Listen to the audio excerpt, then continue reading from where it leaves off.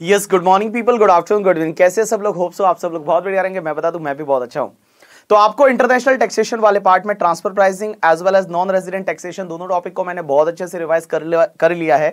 तो आप लोगों ने भी रिवाइज कर लिया होगा, वो लेक्चर दोनों आपको यूट्यूब पे मिल चुके हैं। Now today we are going to start with new topic that is the double taxation avoidance agreement सबसे पहली चीज़ डबल टैक्सेशन क्या होता है? देखो, इस वर्ल्ड में क्या होता है? हर कंट्री जो टैक्स लेती है ना, वो दो रूल से लेती है। One is the residence rule one is the source rule residence rule ये बोलता है कि अगर कोई भी पर्सन आपकी कंट्री का रेजिडेंट है तो पूरे वर्ल्ड की इनकम से पे उससे टैक्स ले लो। और सोर्स रूल ये बोलता है कि अगर कोई पर्सन आपकी कंट्री का रेजिडेंट नहीं है, लेकिन आपकी कंट्री में सोर्स है तो उससे जो भी सोर्स से इनकम होती है, उस पर आप टैक्स ले लो। We can take one example I am resident of India अब एक चीज़ समझना इंडिया का मैं रेजिडेंट हूँ, मुझे नेपाल से इनकम होती है। Suppose I am earning income from the Nepal then India will take the tax on that income through the residence rule India है, उस वो टैक्स लेगा, और नेपाल जो है, वो टैक्स लेगा due to the source rule इसका उल्टा example we can take one example suppose Ricky Ponting is a resident of Australia वो इंडिया में आईपीएल खेलने के लिए आता है, और इंडिया से जो उसको इनकम होती है, उस पर टैक्स लगेगा due to the source rule और बेटा, वहाँ ऑस्ट्रेलिया में टैक्स लगेगा due to the residence rule अब एक चीज़ समझना, इसमें होता क्या है? अगर कोई पर्सन एक कंट्री का रेजिडेंट है, और उसको दूसरी कंट्री से इनकम होती है तो दोनों जगह टैक्स लगता है। जहाँ पे सोर्स है, वो कंट्री सोर्स रूल से टैक्स लेती है और जहाँ का वो रेजिडेंट है, वो रेजिडेंट रूल से टैक्स लेती है और इसकी वजह से डबल टैक्सेशन होता है। इस डबल टैक्सेशन को जुरिडिकल डबल टैक्सेशन बोला जाता है। तो मैं बोलू जुरिडिकल डबल टैक्सेशन और जुरिस्डिक्शनल डबल टैक्सेशन भी बोल सकते हैं। तो जो ये जुरिस्डिक्शनल डबल टैक्सेशन किसको बोलते हैं? All people please paper attention अगर कोई पर्सन एक कंट्री का रेजिडेंट है और उसको दूसरी कंट्री से टैक्स हो दूसरी कंट्री से इनकम हो रहा है तो वो जिस कंट्री से इनकम हो रहा है, वो सोर्स रूल से टैक्स लेती है और जहाँ पे वो रेजिडेंट है, वो रेजिडेंट रूल से टैक्स लेती है। मीन एक ही पर्सन को एक ही इनकम पे दो कंट्री में टैक्स लगता है। That is called jurisdictional double taxation अब एक चीज़ समझना, एक होता है economic double taxation economic double taxation क्या होता है कि एक इनकम पे दो अलग अलग लोगों के हाथ में। दो जगह पे टैक्स लगता है। That is called economic double taxation मैंने क्या बोला? इनकम एक ही है। दो जगह पे टू डिफरेंट पर्सन के हाथ में, दो अलग अलग जगह पे टैक्स लगता है। That is called economic double taxation we can take one example suppose क्या हुआ? एक फॉरेन कंपनी ने डिविडेंड दिया। तो फॉरेन कंपनी ने डिविडेंड दिया तो फॉरेन कंपनी ने फॉरेन में उस पर डीडीटी भर दिया होगा। सपोज़ वहाँ पे भी डीडीटी का लॉ है। तो डीडीटी वहाँ पे पे कर दिया होगा और अब अपने को फॉरेन कंपनी से डिविडेंड मिलता है तो अपने हाथ में भी टैक्स लग जाता है। दैट इज़ कॉल यहाँ पे इकोनॉमिक डबल टैक्सेशन हो रहा है। डिविडेंड इनकम तो एक ही है। वो कंपनी ने टैक्स भरा और आप भी टैक्स भर रहे हो। That is called economic double taxation अब एक चीज़ समझना नॉर्मली जो ये जुरिडिक्शनल डबल टैक्सेशन होता है जुरिडिकल डबल टैक्सेशन होता है, उसको कैसे अवॉइड किया जा सके? तो जुरिडिकल डबल टैक्सेशन को अवॉइड करने के लिए दो तरीके होते हैं। One is the unilateral relief one is the bilateral relief पहले अपन बात करेंगे बायोलेटरल रिलीफ की। बायोलेटरल रिलीफ का मतलब क्या होता है कि दो कंट्री आपस में बैठती है और आपस में बैठ के एक अग्रीमेंट साइन करती है और अग्रीमेंट में लिखती है कि चलो हम डबल टैक्सेशन नहीं करेंगे that is called bilateral relief अब ये डबल टैक्सेशन अवॉइडेंस अग्रीमेंट है, वो बनाए जाते हैं। और डबल टैक्सेशन अवॉइडेंस अग्रीमेंट में नॉर्मली रिलीफ कैसे दी जाती है, उसके दो मेथड होती है। One is the tax exemption method one is the tax credit method tax exemption method क्या बोलती है कि एक कंट्री टैक्स लेगी और दूसरी कंट्री टैक्स नहीं लेगी। दैट इज़ एग्ज़ाम कर देगी। That is called tax exemption method tax credit method क्या बोलता है कि दोनों कंट्री टैक्स लेगी, लेकिन जो भी सोर्स कंट्री में टैक्स भरा है रेजिडेंट वाली कंट्री उसका क्रेडिट दे देगी। That is called tax credit method तो मैंने क्या बोला कि डबल टैक्सेशन को कैसे अवॉइड किया जाए? तो उसके लिए बायोलेटर रिलीफ क्या बोलता है कि दो कंट्री आपस में मिल बैठ के अग्रीमेंट बनाती है। That agreement is known as the A इस ए बोलो या टैक्स ट्रीटी बोलो या टैक्स कन्वेंशन बोलो, एक ही बात है। तो ए बोलो टैक्स ट्रीटी बोलो टैक्स कन्वेंशन बोलो, एक ही बात है। दो कंट्री आपस में मिल बैठ के और वो अग्रीमेंट बनाती है। दो तरह का रिलीफ हो सकता है, एक एक टैक्स एग्जेम्पन मेथड और एक tax credit method tax exemption method ये बोलता है एक कंट्री में टैक्स लगेगा, दूसरी में एग्जेम्प्ट हो जाएगा। और क्रेडिट मेथड ये बोलता है कि जो भी आपने सोर्स कंट्री में टैक्स भरा है रेजिडेंट वाली कंट्री है, उसका क्रेडिट दे देगी। That is called tax credit method अब एक चीज़ समझना इंडिया में ये पावर जो है सेक्शन 19 है सेंट्रल गवर्नमेंट को दे रखा है। कि our central government can enter into the agreement for the avoidance of the double taxation with any foreign country और a specified territory located outside India तो देखो, हमारी जो सेंट्रल गवर्नमेंट मोदी सरकार है, वो फॉरन कंट्री के साथ में या स्पेसिफाइड टेरिटरी के साथ में अग्रीमेंट कर सकती है। अब आप बोलोगे स्पेसिफाइड टेरिटरी का मतलब क्या होता है? बहुत बार कोई फॉरेन कंट्री पूरी नहीं है, लेकिन कंट्री का कोई पार्ट के साथ भी अग्रीमेंट करते हैं that is called specified territory आपने नाम सुना होगा मकाऊ करके तो Macau is not a country it is a part of the China करके, ठीक है? सो मकाऊ के साथ अगर मान लो इंडियन गवर्नमेंट ने एग्रीमेंट में एंटर किया तो उसको अपन स्पेसिफाइड टेरिटरी के साथ में अग्रीमेंट बोलेंगे। अब एक और चीज़ समझना सर क्वेश्चन ही आता है कि भैया, जब डी बनता है, दो कंट्री के बीच में तो उसमें क्या लिखा हुआ होता है? सबसे पहला क्लॉज तो ऑब्वियसली ये होता है कि डबल टैक्सेशन ना लगना चाहिए। दूसरी चीज़, उसमें इंफॉर्मेशन शेयरिंग के भी क्लॉजेस होते हैं। उसमें इंफॉर्मेशन शेयरिंग के क्लॉजेस होते हैं कि जब भी एक कंट्री दूसरी कंट्री से इंफॉर्मेशन मांगेगी तो दूसरी कंट्री उसके साथ शेयर करेगी। As well as the tax recovery में एक दूसरे की हेल्प करना। अगर कोई पैसा खा के दूसरी कंट्री भाग गया है और उससे कुछ टैक्स का रिकवरी करना है या असेट दूसरी कंट्री में लोकेटेड है तो कंट्री आपस में एक दूसरे की हेल्प करेंगे, ऐसा डी में लिखा होता है। अब एक चीज़ समझना डी के प्रोविज़न और एक अपने इनकम टैक्स एक्ट के प्रोविज़न तो मैंने क्या बोला, देखो, दो तरह के प्रोविज़न होते हैं। एक तो तुम्हारा इनकम टैक्स एक्ट जो अपना है that is income tax act है 1961 वाला और एक मान लो डीटी डबल का। तो क्वेश्चन ये आता है, इन दोनों प्रोविज़न में से कौन सा जो है वो प्रिवेंट करे लाइक प्रिवेल करेगा। तो देखो नॉर्मली डीटी डबल के प्रोविज़न है, वो स्पेसिफिक प्रोविज़न होते हैं। बट इनकम टैक्स एक्ट के प्रोविज़न है, वो नॉर्मल प्रोविज़न होते हैं। तो अगर दोनों के बीच में कॉन्फ्लिक्ट है तो डीटी डबल के प्रोविज़न है, वो प्रिवेल करेंगे। डीटी डबल के प्रोविज़न है, वो प्रिवेल करेंगे। But except the provision of the GAAR जो गार के प्रोविज़न है, उसको छोड़ के डीटी डबल के प्रोविज़न है, वो प्रिवेल करेंगे। अब एक और चीज़ समझना। अगर मैं एसएससी के पॉइंट ऑफ़ व्यू से बोलूँ तो एसएससी डीटी डबल के प्रोविज़न या इनकम टैक्स एक्ट के प्रोविज़न में से जो उसके लिए मोर बेनिफिशियल है, वो ले सकता है। जैसे आई कैन टेक एग्जांपल के सपोज़ इनकम टैक्स एक्ट में बोला हुआ है, आपको टेन परसेंट टैक्स लगेगा डीटी डबल में बोला हुआ है, आपको 15 परसेंट टैक्स लगेगा तो उस केस में आपको 10 परसेंट टैक्स भरना है because income tax act is more beneficial for you अब एक और चीज़ समझना इनकम टैक्स एक्ट में मान लो थर्टी परसेंट लिखा हुआ है और यहाँ पे पंद्रह परसेंट लिखा हुआ है तो उस केस में आपको फिफ्टीन परसेंट टैक्स भरना पड़ेगा because DT double is more beneficial to you तो मैंने क्या बोला, देखो, अगर conflict DT double income tax act में तो डीटी डबल के प्रोविज़न प्रिवेल करेंगे but except the provision of GAAR GAAR के प्रोविज़न ऐसे जो डीटी डबल को भी ओवर कर जाएँगे. बट अगर आप एसएससी के पॉइंट ऑफ़ व्यू से देखोगे तो इनकम टैक्स और डी डबल के provision whichever is more beneficial आपके लिए है, वो आपको लेने पड़ेंगे। जो आपके लिए मोर बेनिफिशियल है, वो वाले आपको लेने पड़ेंगे। लेकिन इसमें एक एक्सेप्शन है। अगर कोई फॉरेन कंपनी है और फॉरेन कंपनी के लिए इनकम टैक्स में टैक्स रेट ज़्यादा लग रही है फॉरेन कंपनी के लिए इनकम टैक्स में टैक्स रेट ज़्यादा लगती है, जैसे आपको पता रहेगा फॉरेन कंपनी के लिए अपने इनकम टैक्स में 40 परसेंट की रेट से टैक्स लगता है तो टैक्स रेट का ज़्यादा लगना is never be treated as less favourable मतलब उसके लिए टैक्स रेट ज़्यादा लगेगी। जैसे आई कैन टेक एग्ज़ाम्पल एक फॉरन कंपनी है, और फॉरन कंपनी के लिए आपको जैसा पता है कि इनकम टैक्स में टैक्स रेट क्या रहती है फॉरन कंपनी के लिए तो फॉरन कंपनी के लिए टैक्स रेट रहती है, वो टैक्स रेट फोर्टी रहती है। और मान लो डीटी डबल में बोला है फिफ्टीन परसेंट तो भी फॉरेन कंपनी को टैक्स रेट फोर्टी परसेंट से ही पे करना पड़ेगा। ये एक्सेप्शन सिर्फ़ फॉरेन कंपनी के लिए तो मैंने क्या बोला फॉरेन कंपनी के लिए टैक्स रेट का ज़्यादा होना इनकम टैक्स एक्ट में कभी भी लेस फेवरेबल नहीं माना जाएगा, और उसके लिए फोर्टी परसेंट टैक्स रेट है, वो फोर्टी परसेंट टैक्स रेट ही लगेगी।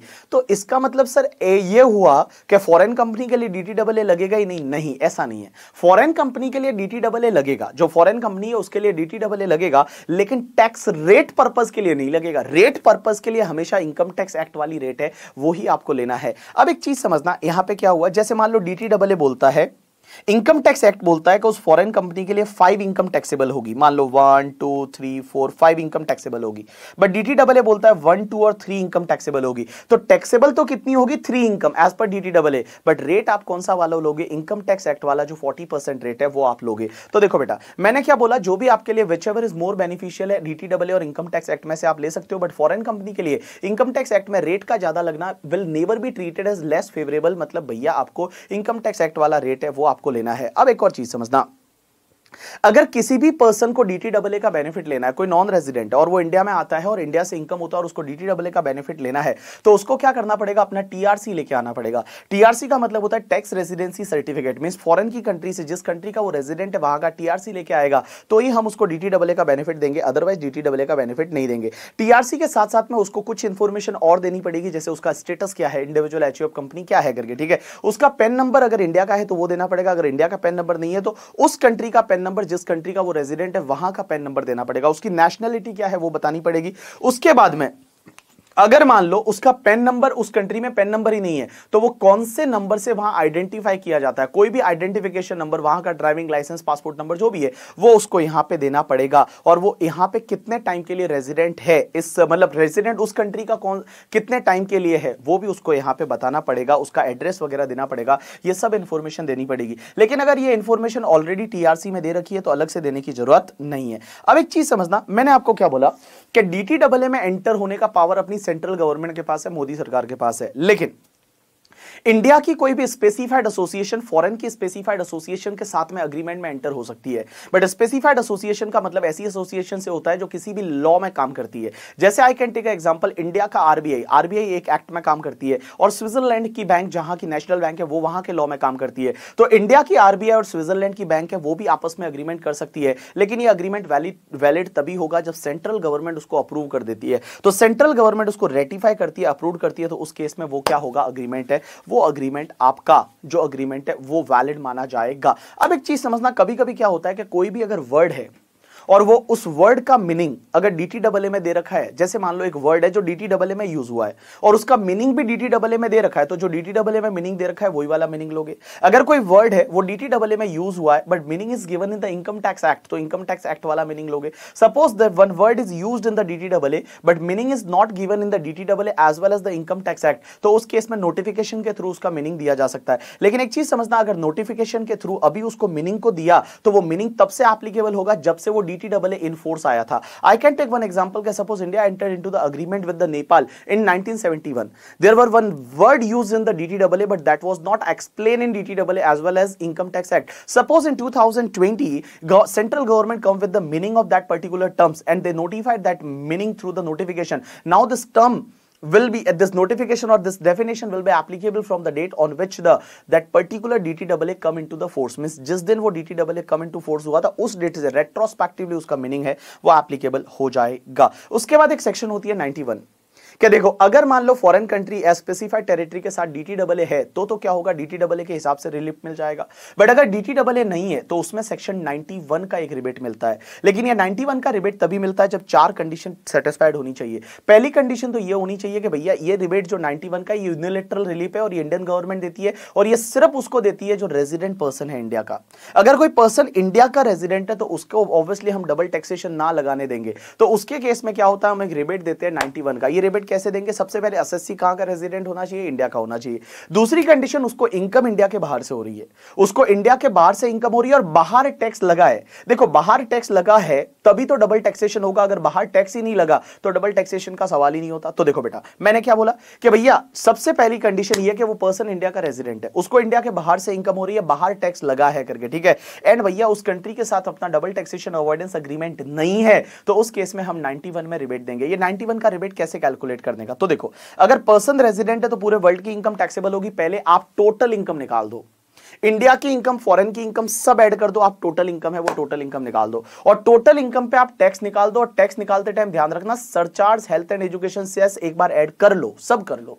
यहाँ पे बच्चे गलती कर देते हैं। ये 91 का rebate surcharge health and education cess से पहले ले लेते हैं। नहीं, आप सरचार्ज ऐड करो, हेल्थ एंड एजुकेशन सेस भी ऐड करो, ठीक है? और health and education cess add करने के बाद आपको सेक्शन 91 का रिबेट लेना है। ये रिबेट कैसे लोगे कि जो भी इंडिया का एवरेज टैक्स रेट है, इंडिया का एवरेज टैक्स रेट कैसे निकालोगे? जो भी टैक्स पेबल आता है, divide by net taxable income, multiply by hundred, that is called India का एवरेज टैक्स रेट। और जो फॉरेन का टैक्स रेट है, फॉरेन का टैक्स रेट कैसे निकालोगे कि भैया फॉरेन में कितना टैक्स भरा? और फॉरेन के लॉ के हिसाब से फॉरेन में कितनी इनकम आपकी असेसेबल थी? फॉरेन में कितना टैक्स पे किया और फॉरेन के लॉ के हिसाब से फॉरेन में आपकी इनकम कितनी टैक्सेबल थी? वो जो परसेंटेज रेट आएगा तो इंडिया का एवरेज टैक्स रेट और फॉरेन का जो फॉरेन का टैक्स रेट होता है विच एवर इज़ लोअर वाली रेट आप लोगे, और वो लोअर वाली रेट जो भी डबली टैक्स इनकम है डबली टैक्स इनकम जो इंडिया के इनकम निकालते टाइम एनटीआई में जितनी इनकम इंक्लूड हुई है। जो फॉरेन की इनकम है, वो आपकी एनटीआई में इंक्लूड हुई है, उस पर आपको ये रिबेट है, वो लोअर वाली रेट से मिल जाएगा। तो देखो इंडिया का एवरेज टैक्स रेट और फॉरेन का टैक्स रेट फॉरेन का टैक्स रेट मीन फॉरेन में टैक्स जितना पे किया डिवाइड बाय फॉरेन में assessed income as per foreign tax law करके, ठीक है? That is called foreign tax rate तो Indian tax rate foreign tax rate lower वाला रेट है, वो फॉरेन डब्ल्यू टैक्स इनकम पे आप मल्टीप्लाई कर दोगे। Foreign W tax income mean ऐसी इनकम जो जो, जिस पे फॉरेन में टैक्स भरा और वो तुम्हारे इंडिया की एनटीआई में आई है। देखो इंडिया की एनटीआई में जितनी इनकम आती है, उसी पे आपको ये रिबेट मिलेगा अंडर सेक्शन 91 करके। अब एक चीज़ समझना है कंसेप्ट आता है पी जैसे लास्ट टॉपिक में सेक्शन नाइन में अपन ने देखा था, एक कंसेप्ट पढ़ा था दैट इज़ अ परमा लाइक क्या बोलते हैं बिज़नेस कनेक्शन वैसा ही डबल में एक कंसेप्ट आता है P that is permanent establishment permanent establishment का मतलब होता है प्लेस ऑफ़ बिज़नेस हो सकता है प्लेस ऑफ़ ब्रांच हो सकता है ऑफ़िस हो सकता है फैक्ट्री हो सकता है वर्कशॉप हो सकता है सेल्स आउटलेट हो सकता है वेयर हाउस हो सकता है माइंड वगैरह हो सकता है, ये तुम्हारा क्या होता है पी बनता है.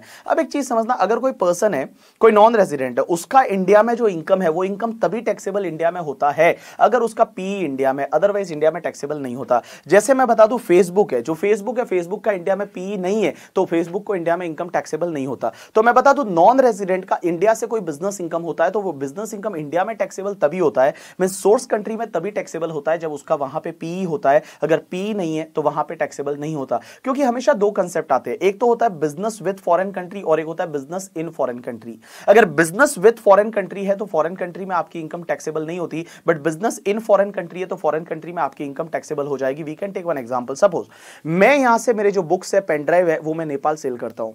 नेपाल से बहुत सारे बच्चों के ऑर्डर आते हैं मेरे पास पेनड्राइव बुक्स के, और मैं नेपाल सेल करता हूँ, यहाँ से कुरियर करता हूँ डीटीडीसी से, या फेडेक्स से वो सीधा नेपाल डिलीवर हो जाता है। क्या नेपाल में मुझे टैक्स लगेगा? Answer is no because I am doing business with Nepal लेकिन मान लो काठमांडू में मैंने अपना सेंटर स्टार्ट कर दिया। काठमांडू में मैंने मेरा सेंटर स्टार्ट कर दिया और वो सेंटर से ही बच्चों को बुक्स भी सेल हो रही है और वहाँ से पेन ड्राइव सेल हो रही है। तो मैं बिज़नेस इन नेपाल कर रहा हूँ। अब एक बात बताओ नेपाल में मेरी इनकम टैक्सेबल होगी? आंसर इज़ यस बिकॉज़ मेरा पी जो है वो नेपाल में हो गया। तो अगर मेरा पी नेपाल में हो जाता है तो उस केस में नेपाल में इनकम टैक्सेबल हो जाती है। तो ध्यान रखना, अगर बिज़नेस विथ फॉरन कंट्री है फॉरन कंट्री में टैक्स नहीं लगेगा। बिज़नेस इन फॉरन कंट्री है तो फॉरन कंट्री में टैक्स लगेगा। और ये बिज़नेस इन फॉरन कंट्री का मतलब अगर वहाँ पे आपका पी है।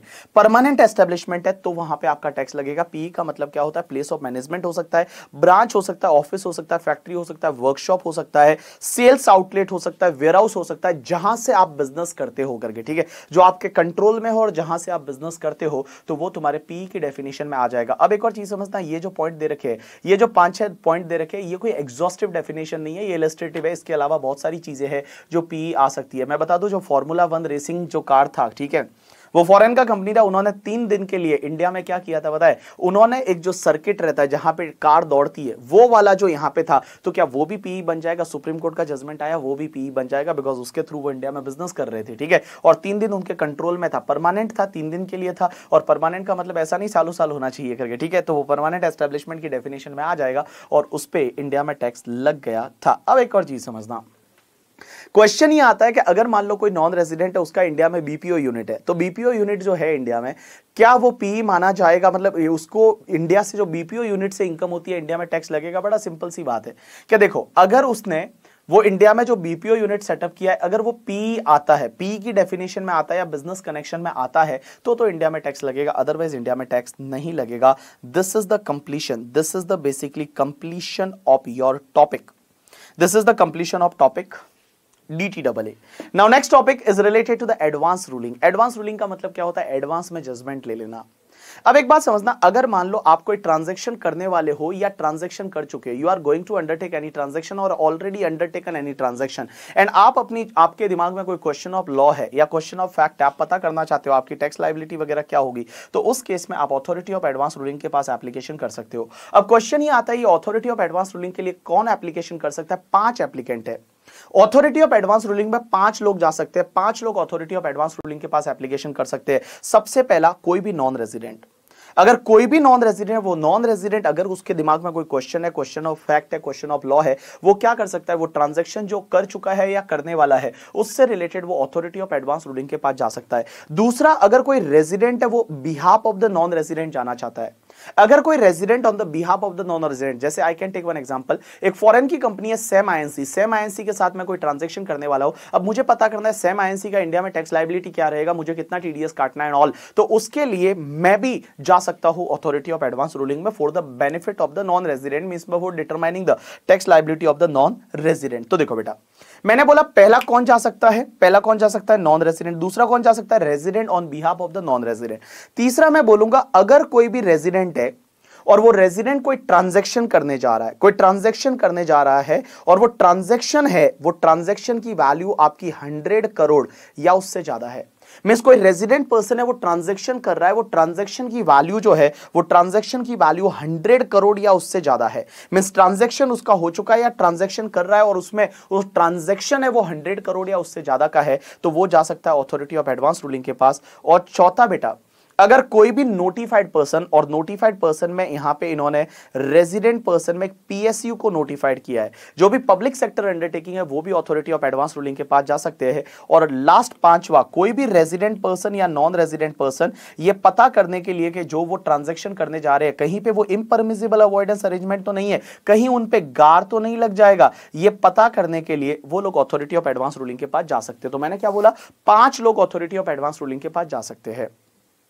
पाँच लोग हैं, वो अथॉरिटी ऑफ़ एडवांस रूलिंग के पास जा सकते हैं। सबसे पहला कौन? नॉन रेजिडेंट दूसरा कौन? Resident on behalf of non resident तीसरा ऐसा रेजिडेंट पर्सन जो ट्रांजेक्शन है, वो ट्रांजेक्शन हंड्रेड करोड़ या उससे ज़्यादा का है। चौथा पब्लिक सेक्टर अंडरटेकिंग और पांचवा रेजिडेंट या नॉन रेजिडेंट ये पता करने के लिए कि वो जो ट्रांजेक्शन करने जा रहे हैं, वो ट्रांजेक्शन कहीं इम्परमिजिबल अवॉइडेंस अरेंजमेंट तो नहीं बन जाएगा। कहीं उस पर गार तो नहीं लग जाएगा। ये पता करने के लिए वो भी अथॉरिटी ऑफ़ एडवांस रूलिंग के पास जा सकते हैं। अब एक बात समझना अथॉरिटी ऑफ़ एडवांस रूलिंग को जब आप एप्लीकेशन करते हो तो आपको प्रिस्क्राइब फॉर्म में करना पड़ता है। और प्रिस्क्राइब फ़ीस भी लगती है। अब फ़ीस कितनी लगती है तो मैं बता दूँ पब्लिक सेक्टर अंडरटेकिंग करती है तो टेन थाउज़ेंड अदर पर्सन कोई भी एप्लीकेशन करता है और उसका जो ट्रांजेक्शन का वैल्यू है, वो transaction value up to hundred crore है। अप टू हंड्रेड करोड़ है तो फ़ीस लगेगा टू लाख रुपीज़ अगर more than hundred crore up to three hundred crore है तो फ़ीस लगेगा five lakh rupees and more than three hundred crore का transaction है तो फ़ीस लगेगा टेन थाउज़ेंड रुपीज़ अब एक और चीज़ समझना, अगर जब आप एप्लीकेशन करते हो, वो फोर कॉपीज में करना पड़ता है क्वार डुप्लीकेट आपको एप्लीकेशन करना पड़ता है। आपने ऑथोरिटी ऑफ़ एडवांस रूलिंग में अगर एप्लीकेशन किया, आप चाहते हो कभी विड्रॉ करना, आप विड्रॉ भी कर सकते हो।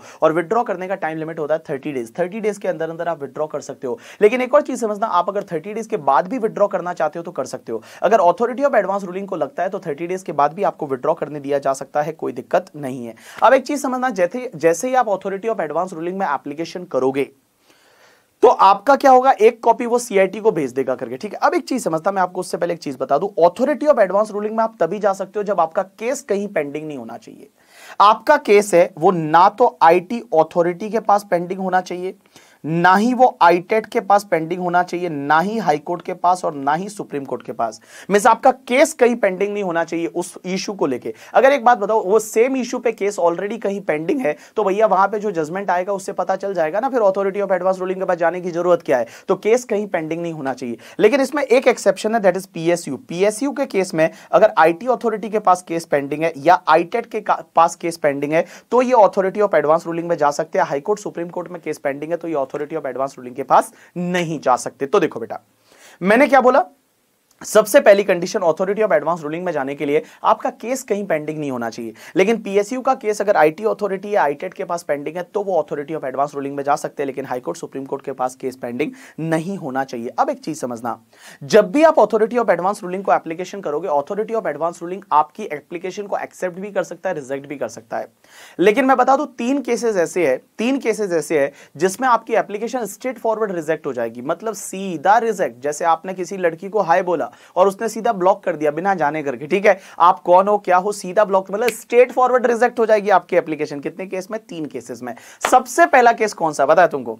अगर मान लो आपका केस ऑलरेडी पेंडिंग है, कहाँ पे? आईटी अथॉरिटी के पास में, या फिर आईटेट हाईकोर्ट सुप्रीम कोर्ट के पास, या फिर पीएसयू का केस हाईकोर्ट सुप्रीम कोर्ट के पास पेंडिंग है तो उसकी एप्लीकेशन स्ट्रेट फॉरवर्ड रिजेक्ट हो जाएगी। दूसरा, अगर आपकी एप्लीकेशन किसी असेट की एफएमवी निकलवाने के लिए है आपने एप्लीकेशन किया कि प्रॉपर्टी का एफएमवी निकाल के दो ना, अब ऑथोरिटी ऑफ़ एडवांस रूलिंग का ये काम है कि एफएमवी निकालेंगे तो अगर एफएमवी से रिलेटेड एप्लीकेशन है, सीधा रिजेक्ट करके, ठीक है?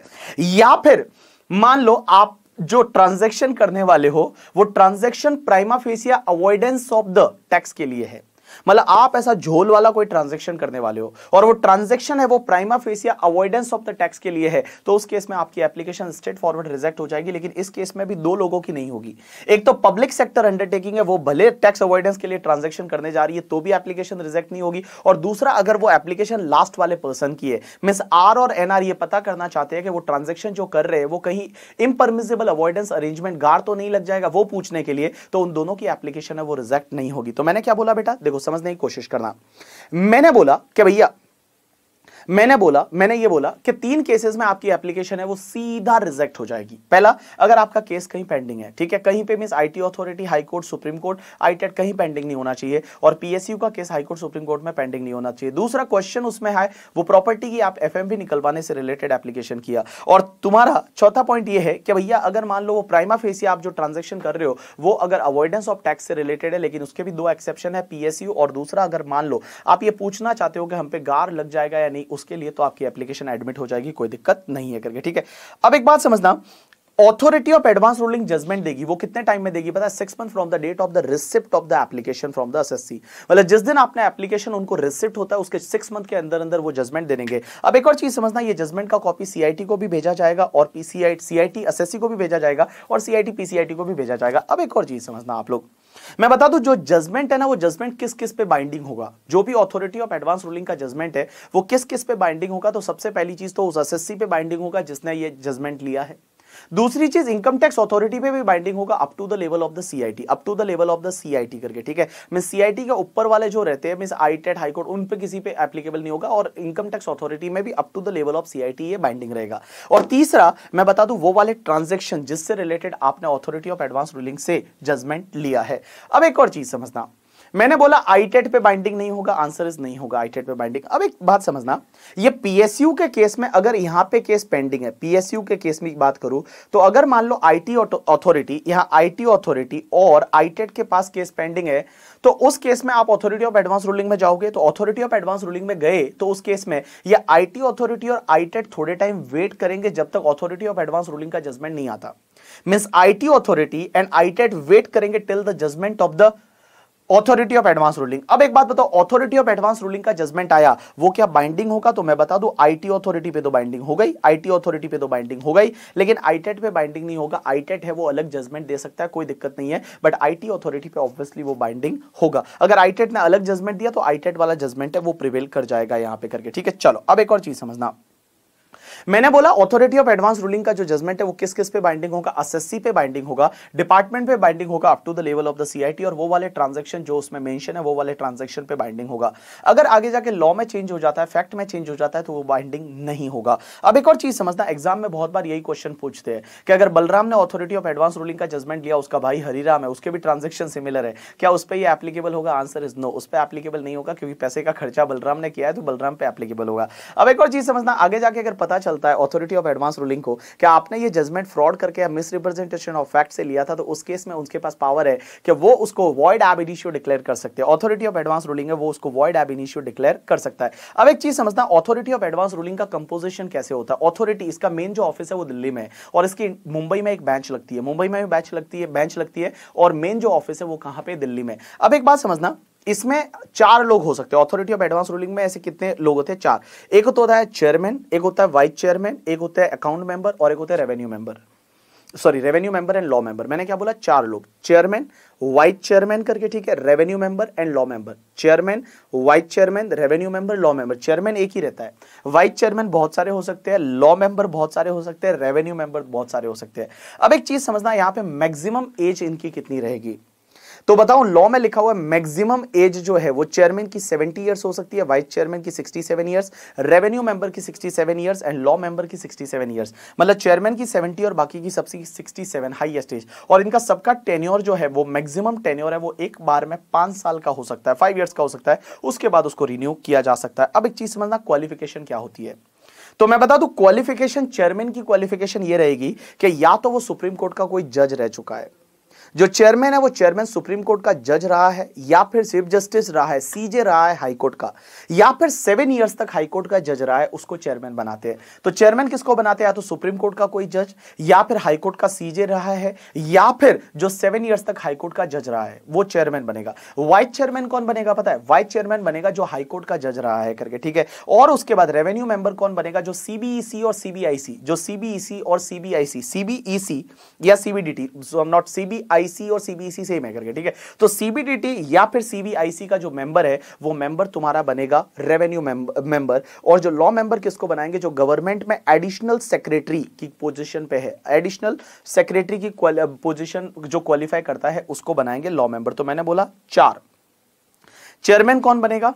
वाइस चेयरमैन कौन बनेगा, लॉ मेंबर कौन बनेगा और लॉ मेंबर कौन बनेगा एंड रेवेन्यू मेंबर कौन बनेगा। तो देखो, चेयरमैन कौन बनेगा, जो सुप्रीम कोर्ट का जज रह चुका है हाईकोर्ट का सीजे रहा है करके, ठीक है, या फिर सेवन ईयर्स तक हाईकोर्ट का जज रहा है। और बेटा वाइस चेयरमैन कौन बनेगा? जो कि हाईकोर्ट का जज है करके, ठीक है? रेवेन्यू मेंबर कौन बनेगा? और लॉ मेंबर कौन बनेगा? तो रेवेन्यू मेंबर कौन बनेगा? जो सीबीडीटी सीबीईसी का मेंबर रहा है, और लॉ मेंबर कौन बनेगा? जो एडिशनल सेक्रेटरी की पोस्ट पे रहा है गवर्नमेंट ऑफ़ इंडिया में तो वो लॉ मेंबर बनेगा। अब एक और चीज़ समझना। ये जो ऊपर मैंने क्वालिफिकेशन बताई है ना, ये क्वालिफिकेशन उन लोगों के लिए है, जिनका अपॉइंटमेंट 25 मई 2017 से पहले हो चुका है। अगर जिनका अपॉइंट 26 सॉरी 26 मई 2017 या उसके बाद में हुआ है, उस डेट या उसके बाद में हुआ है तो उनके लिए क्वालिफिकेशन चेंज हो जाएगी। वो क्वालिफिकेशन क्या है? वो फाइनेंस एक्ट 2017 के सेक्शन 184 में दे रखी है। अभी मैं बताता हूँ, वो नए जो अभी अपॉइंटमेंट हुए हैं दैट इज़ 26 मई 2017 या उसके बाद तो उनके लिए क्वालिफिकेशन क्या रहेगी? अभी मैं बताता हूँ, ठीक है? चलो, अब एक और बात समझना, आप जो लोकेशन कहाँ पे रहेगा? अथॉरिटी ऑफ़ एडवांस रूलिंग का लोकेशन हेड ऑफ़िस दिल्ली में है, और इसकी बेंचेस जाए जितनी वो बना सकते हैं। अब एक चीज़ समझना, हर अथॉरिटी ऑफ़ एडवांस रूलिंग की जो बेंच रहेगी ना, उस बेंच में तीन लोग रहेंगे। एक तो चेयरमैन और वाइस चेयरमैन मतलब चेयरमैन वाइस चेयरमैन में से कोई भी एक ठीक है?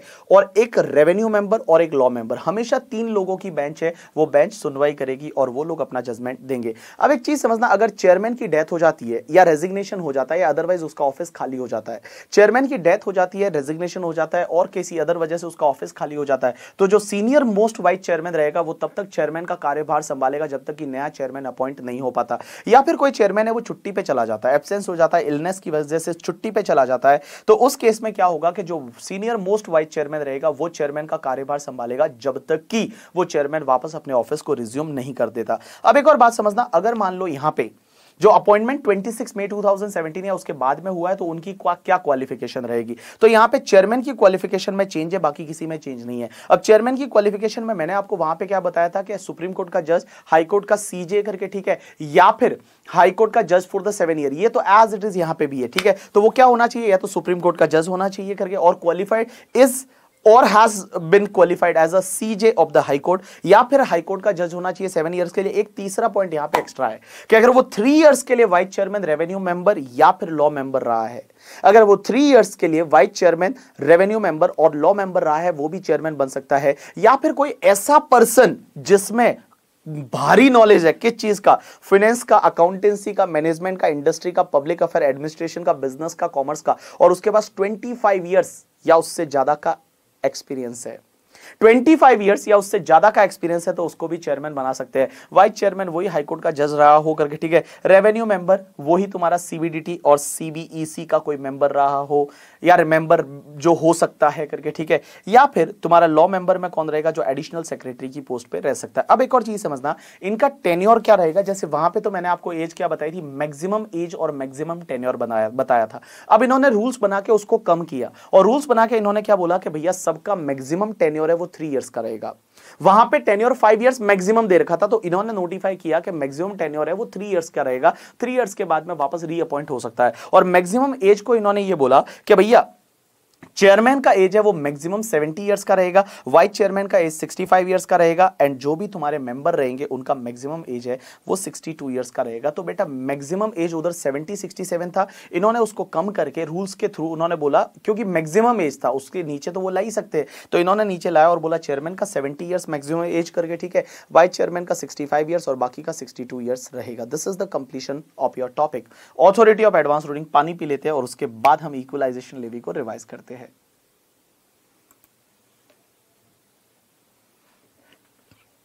यस पीपल तो देखो इक्वलाइजेशन लेवी ये क्या होता है?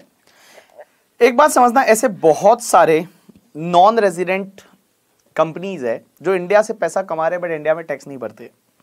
जैसे I can take one example कि अगर कोई नॉन रेजिडेंट है और non resident is not having P in India मैंने आपको क्या बोला था पता है? कि अगर नॉन रेजिडेंट का इंडिया में पी है तो ही बिज़नेस इनकम इंडिया में टैक्सेबल होगी अदरवाइज़ नहीं होगी। तो non resident is not having P in India P in India का मतलब होता है इंडिया में ब्रांच होना।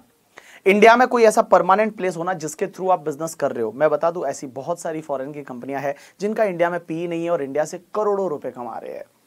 जैसे अपन एग्ज़ाम्पल लेते हैं। एग्ज़ाम्पल में आपको पता है फेसबुक फेसबुक और इंस्टाग्राम से तो सब लोग बड़े वाकिफ है करके, ठीक है? या फिर मैं बात कर दूँ गूगल की। तो जो गूगल है फेसबुक है, इनका इंडिया में पी है ही नहीं। That non resident they are based in USA they don't have P in India आप बोलोगे गूगल का ऑफ़िस तो है इंडिया में। इंडिया में जो ऑफ़िस है ना, वो प्रिपरेटरी सर्विस देता है। वो ऑक्सिलरी सर्विस देता है, वो कोई मेन सर्विस नहीं देता तो वो पीई नहीं है परमानेंट एस्टेब्लिशमेंट नहीं है। आपको मैं बताऊँ, आपका जीमेल हैक हो जाता है तो आप मेल करते हो तो आपको रिप्लाई यूएसए से आता है। मतलब हर चीज़ यूएसए से चलती है। यूएसए से हर चीज़ है, वो यूएसए से चलती है। तो ये जो गूगल है फेसबुक है, ये इंडिया में टैक्स नहीं भरते बिकॉज़ इनका पी इंडिया में नहीं है। अब एक चीज़ समझना। तो इनको थोड़ा टैक्स लगाने के लिए क्या किया, पता है? हमने एक इक्वलाइजेशन लेवी कंसेप्ट लाया, जो बेप्स के एक्शन प्लान थे, जो G twenty country and OECD country है, उन्होंने पंद्रह बेप्स के एक्शन प्लान दिए थे, और उसमें सबसे पहला एक्शन प्लान था that is the digital economy और डिजिटल इकोनॉमी वाला जो पहला एक्शन प्लान था, उसमें उन्होंने पहली पार्ट तो यही बोला था उन्होंने कि आप एक तो क्या करो कि पी की डेफिनेशन को चेंज करो एंड उसके बाद एक सिग्निफिकेंट इकोनॉमिक प्रेजेंस बनाओ, जो अपन ने बिज़नेस कनेक्शन में डाला है। और उन्होंने उसमें यह भी बोला था कि आप इक्वलाइजेशन लेवी लगा सकते हो। तो हमने क्या किया? इक्वलाइजेशन लेवी लगाया। India is the first country जो जिसने इक्वलाइजेशन लेवी लगाया। अब ये इक्वलाइजेशन लेवी होता क्या है? देखो, ये इक्वलाइजेशन लेवी ये बोलता है कि अगर कोई नॉन रेजिडेंट है नॉन रेजिडेंट का मतलब यहाँ पे इससे है। That is the Facebook not having the P in India उनका इंडिया में पी नहीं है। ये क्या करता है? ये नॉन रेजिडेंट अगर जो फेसबुक है, ये सर्विस देता है। किसको पता है? पर्सन रेजिडेंट इन इंडिया अगर किसी पर्सन रेजिडेंट इन इंडिया को सर्विस देता है, मैं एग्जांपल के लिए ले लू दैट इज़ बीबी वर्चुअल्स हम लोग जो है BB virtuals that is the Indian resident person है, उसको अगर सर्विस देता है कौन? फेसबुक करके। या फिर फेसबुक सर्विस देता है किसी दूसरे नॉन रेजिडेंट को having P in India means having P having P in India, means जिसका इंडिया में पीई है, जैसे I can take one example एक बात बताओ GoDaddy GoDaddy US based company है, लेकिन उनका पीई इंडिया में है करके, ठीक है? तो इंडिया में पीई है तो गो डैडी भी तो फेसबुक के थ्रू एडवर्टाइजमेंट करवाता है। तो देखो बेटा, समझने की कोशिश करना। इक्वलाइजेशन लेवी कब लगता है? और इसकी जितनी भी सेक्शन है इक्वलाइजेशन लेवी की, ये सेक्शन फिनेंस एक्ट 2016 की सेक्शन है। ये इनकम टैक्स एक्ट की सेक्शन नहीं है फिनेंस एक्ट 2016 की सेक्शन है। अब एक बात समझना, ये सेक्शन क्या बोलती है? कि अगर कोई नॉन रेजिडेंट है, जिसका इंडिया में पी नहीं है example is a Facebook Facebook service देता है किसी रेजिडेंट पर्सन को that is the BB virtual या फिर सर्विस देता है किसी दूसरे नॉन रेजिडेंट को, जिसका इंडिया में पी है that is the GoDaddy इसको मैं बोल देता हूँ गो डैडी करके, ठीक है? अब एक बात समझना तो अगर फेसबुक इनको सर्विस देता देता है और सर्विस में ऑनलाइन एडवर्टाइजमेंट सर्विस अभी तक सिर्फ़ ऑनलाइन एडवर्टाइजमेंट है, उसको ही कवर किया है। तो इन्होंने बोला कि जो भी फेसबुक रहेगा, उस फेसबुक को इक्वलाइजेशन लेवी पे करना पड़ेगा at the rate six percent में सिक्स परसेंट की रेट से इक्वलाइजेशन लेवी है, वो पे करना पड़ेगा। अब एक बात बताओ, आपको लगता है कि हम लोग फेसबुक को जाके मार्क जकरबर्ग को जाके और बोल सकते हैं कि तू सिक्स परसेंट इक्वलाइजेशन लेवी पे कर? आंसर इज़ नो हम नहीं बोल सकते। तो हम किसको पकड़ते हैं? उन दोनों को पकड़ते हैं। कि जो भी रेजिडेंट पर्सन इंडिया में है या non resident having P in India वो किसी नॉन रेजिडेंट एडवर्टाइजमेंट सर्विस ले रहे हैं। और वो non resident that is Facebook जिसका इंडिया में पी नहीं है, उसको जब पेमेंट करते हैं तो उसको इक्वलाइजेशन लेवी काटना पड़ेगा at the rate six percent तो यहाँ पे सिक्स परसेंट की रेट से वो बीबी वर्चुअल और गो डैडी जो है, वो इक्वलाइजेशन लेवी फेसबुक का काट के गवर्नमेंट को जमा करवाएँगे। अब एक चीज़ समझना इक्वलाइजेशन लेवी तभी लगेगा जब आप किसी नॉन रेजिडेंट को जो पेमेंट कर रहे हो, वो पूरे साल का मिला के वन लैख से ज़्यादा है। Mean up to one lakh है तो इक्वलाइज मोनेटाइजेशन लेवी नहीं लगेगा। जैसे बीबी वर्चुअल में हम लोग मान लो एडवर्टाइजमेंट करवाते हैं फेसबुक के थ्रू हम तो नहीं करवाते करके, ठीक है? हम गूगल के थ्रू यूट्यूब के थ्रू एडवर्टाइजमेंट नहीं करवाते, जिसको ज़रूरत है वो करवाते हैं। अब एक चीज़ समझना, होता क्या है? अगर मान लो बीबी वर्चुअल्स ने क्या किया कि एडवर्टाइजमेंट करवाया फेसबुक के थ्रू या गूगल या यूट्यूब के थ्रू ठीक है? यूट्यूब के थ्रू एडवर्टाइजमेंट करवाया तो अगर बीबी वर्चुअल्स ने फेसबुक को पूरे साल का मिला के वन लैख से ज़्यादा का पेमेंट किया तो ही इक्वलाइजेशन लेवी लगेगा अदरवाइज़ इक्वलाइजेशन लेवी नहीं लगेगा। अब एक और चीज़ समझना अगर आपने एडवर्टाइजमेंट सर्विस ली और वो बिज़नेस एंड प्रोफेशन के लिए यूज़ हुई है तो ही इक्वलाइजेशन लेवी लगेगा। अदरवाइज़ इक्वलाइजेशन लेवी नहीं लगेगा। जैसे मान लो आपने क्या किया? फेसबुक पे ऐड दिया, आपको पति चाहिए या पत्नी चाहिए हस्बैंड या वाइफ चाहिए करके, ठीक है? ऐसा एडवर्टाइजमेंट और फाइव लाख फेसबुक पे खर्च कर लिए, आपको इक्वलाइजेशन लेवी नहीं लगेगा। ना तो फेसबुक को लगेगा, ना आपको लगेगा। अल्टीमेटली इक्वलाइजेशन लेवी क्यों लगाया क्योंकि जो बिज़नेस में सर्विस यूज़ कर रहे हैं, वो बिज़नेस में खर्चे का डिडक्शन भी लेंगे। और डिडक्शन लेंगे तो प्रॉफिट कम होगा इंडिया में टैक्स कम जाएगा। तो इसके लिए इन्होंने इक्वलाइजेशन लेवी लगाया तो देखो बेटा इक्वलाइजेशन लेवी कब लगता है? अगर कोई नॉन रेजिडेंट है जिसका इंडिया में पी नहीं है एग्जांपल इज़ फेसबुक वो सर्विस देता है। किसको देता है? सर्विस या तो कोई पर्सन जो रेजिडेंट इन इंडिया है, या फिर कोई दूसरा नॉन रेजिडेंट जिसका इंडिया में पी है, उसको अगर सर्विस देता है एडवर्टाइजमेंट ऑनलाइन एडवर्टाइजमेंट सर्विस तो इक्वलाइजेशन लेवी सिक्स की रेट से लगेगा। अब ये इक्वलाइजेशन लेवी कौन पे करेगा? तो पे करना है उस पेयर को।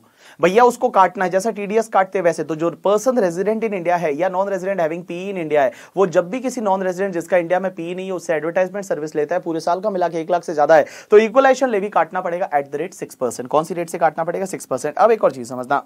ये इक्वलाइजेशन लेवी है ना, ये पूरे इंडिया पे लगता है except Jammu and Kashmir. Jammu and Kashmir पे इक्वलाइजेशन लेवी नहीं लगेगा। बाकी हर जगह ये इक्वलाइजेशन लेवी है, वो लग जाएगा। अब एक और चीज़ समझना इक्वलाइजेशन लेवी का कलेक्शन कौन करेगा? तो मैंने बोला बीबी वर्चुअल गो डेडी है। वो जब फेसबुक को पेमेंट करेंगे सिक्स परसेंट काट के गवर्नमेंट को जमा करवाएँगे। गवर्नमेंट को जमा कब तक करवाना पता है? अगले महीने की सात तारीख तक। नेक्स्ट मंथ सेवन तक जमा करवाना पड़ेगा। इवन मार्च का है तो भी सेवन अप्रैल तक ही आपको जमा करवाना पड़ेगा। अगर आपने इक्वलाइजेशन लेवी लेट जमा करवाया तो सेवन के बाद एट से आपको क्या होगा? वन परसेंट पर मंथ और पार्ट ऑफ़ द मंथ की रेट से आपको इंटरेस्ट लग जाएगा। तो अगर आपने लेट जमा करवाया तो वन परसेंट पर मंथ और पार्ट ऑफ़ द मंथ की रेट से आपको क्या लगेगा? इंटरेस्ट है, वो इंटरेस्ट लग जाएगा। अब एक चीज़ समझना। आपको कुछ पेनल्टी लगती है सेक्शन 171 में, कि अगर आपने इक्वलाइजेशन लेवी नहीं काटा तो।